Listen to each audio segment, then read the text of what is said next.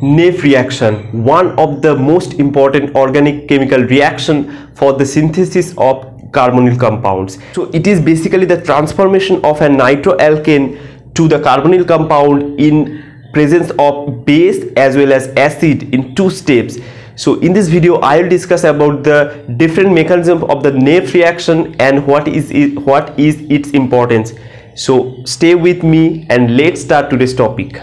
So these are the three important pathways by which you can do the Nef reaction. The first one is the very standard reaction which uses in the first step they use base and in, in the second step it is a strong acid which will protonate and in the second case the second procedure is again the first step is base but the second step they use oxone and in the third case it is the reductive uh, pathway where they use titanium trichloride. And now I will discuss the mechanism of these three reactions one by one. So let us first discuss with the pathway 1 which uses a strong uh, not strong base. You can use a weak base because you can see this hydrogen which is alpha hydrogen with respect to this nitro group.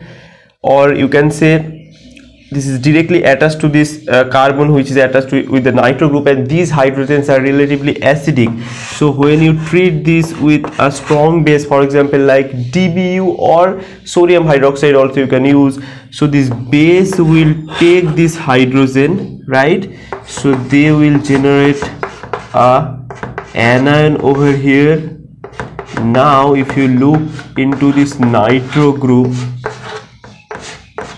so you can see this base. Sorry.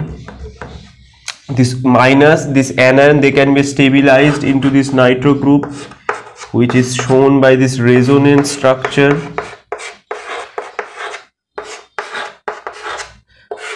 Right? So you can see this is a stable anion because it has this resonance stabilization. So that's why if you even treat with various uh, weak base then also this enolization will happen or this uh, enolate formation enolate it is equivalent of enolate this thing will happen.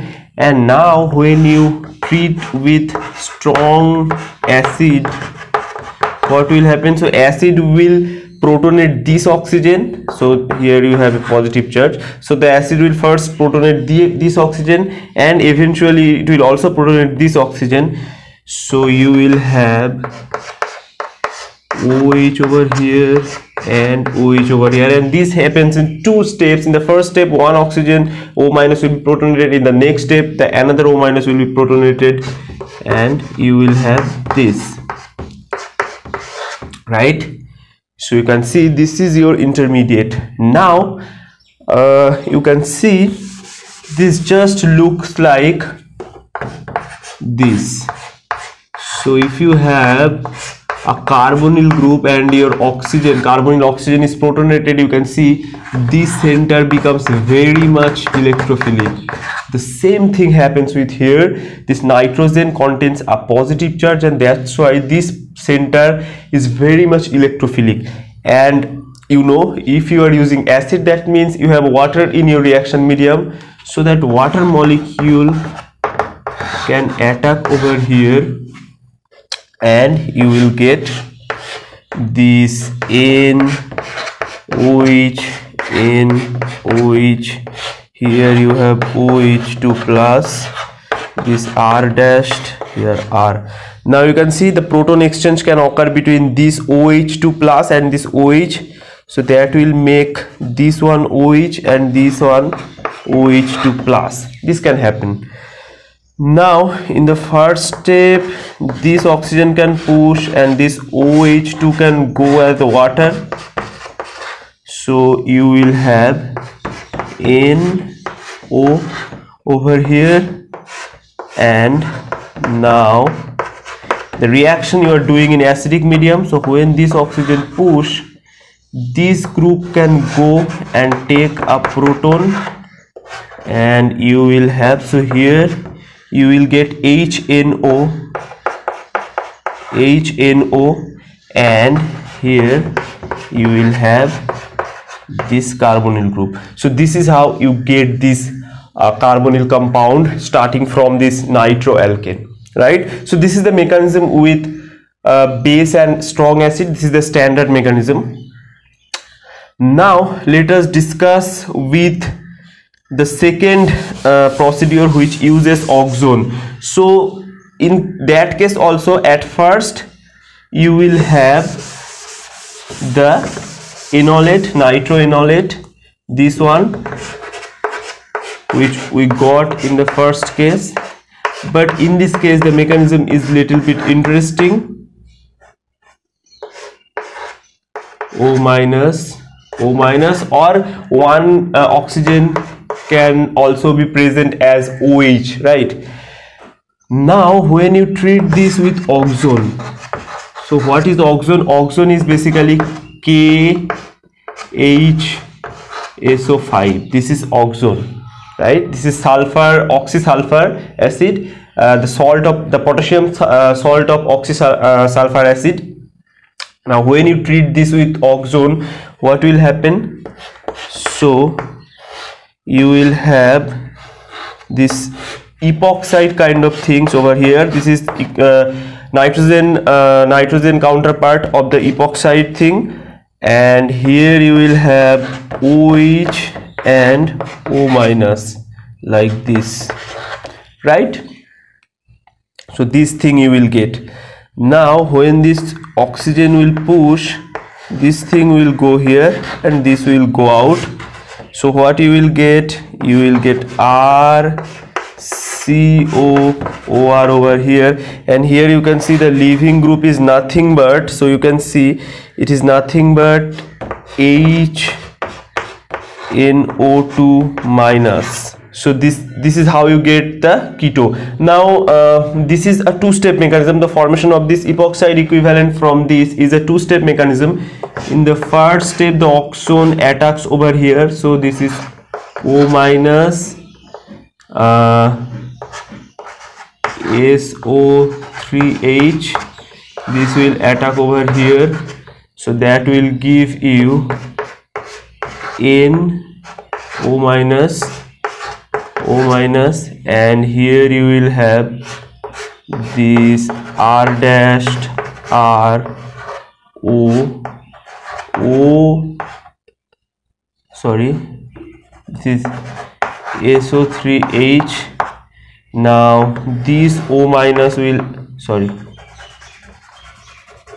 Now this nitrogen lone pair will attack over here and this will go as leaving group. So this is how we get this epoxide kind of thing. And then eventually after this step you will get this carbonyl compound. So this is the mechanism with oxone and you can see this is more interesting than the previous one now let us discuss about the third mechanism which uses titanium uh, trichloride. So what is the mechanism with titanium trichloride? So the same thing with the same thing when you treat with titanium trichloride what will happen? So this o minus will attack over here and one of the chloride will go. So this is TiCl2 one Cl I can write as this. This Cl will go as Cl minus and you will have this R dashed here R and here this N. So O titanium Cl2 and here you have this O minus. Here you have this oxygen. Now in this step this bond will go here and this bond so from titanium you can push this lone pair like this or you can directly use this TiCl bond and push over here.